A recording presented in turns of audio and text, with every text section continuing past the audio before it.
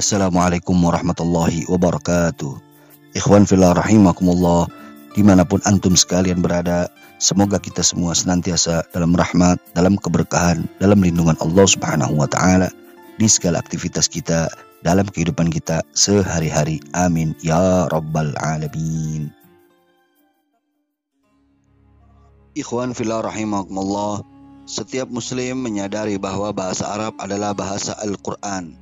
Setiap orang yang akan mempelajari Al-Quranul Karim dengan baik dan benar, tentu harus menggali dari sumber asalnya, yakni Al-Quran. Sedangkan untuk mempelajari Al-Quran yang dituliskan dalam bahasa Arab, tentu membutuhkan cara atau metode untuk memahami kajian bahasa Arab.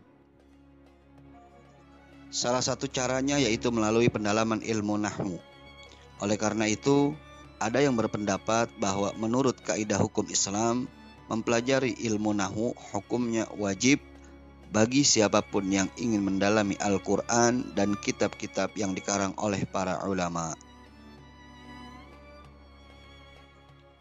Sejarah lahirnya ilmu nahu memiliki beragam versi. Salah satunya seperti versi berikut ini. Diceritakan bahwa ada seorang tabi'in yang bernama Abu Aswad Ad-Du'ali. Beliau tinggal dan menetap di Basrah. Suatu ketika di suatu malam, beliau sedang duduk bersama putrinya sambil memandang ke atas langit. Dari sinilah semua berawal.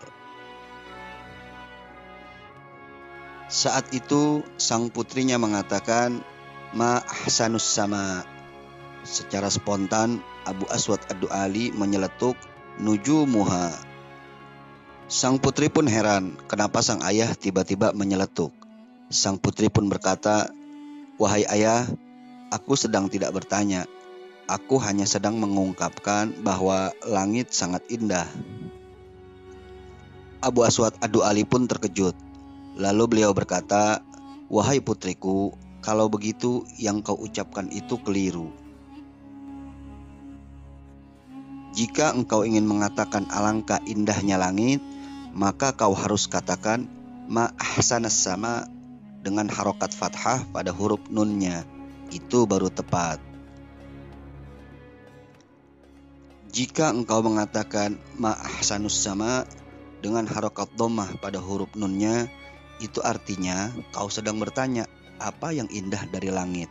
Dan itu tidak tepat untuk mengungkapkan apa yang kau maksud. Dari kejadian itu, sang putri akhirnya mengerti bahwa kesalahan harokat dalam bacaan dapat merubah arti dan makna. Sejak peristiwa itu, Abu Aswad Ad-Du'ali semakin fokus mencurahkan perhatiannya pada hal-hal seperti ini. Sampai akhirnya ia mendapatkan banyak kesalahan-kesalahan ucapan dari masyarakat sekitarnya.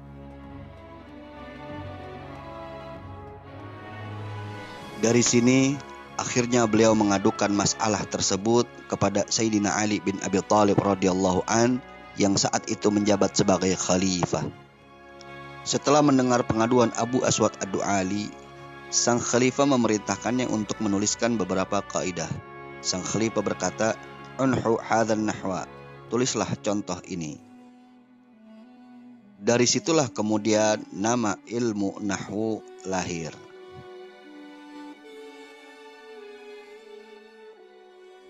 Abu Aswad Ad-Du'ali wafat di Basrah pada tahun 69 Hijriah.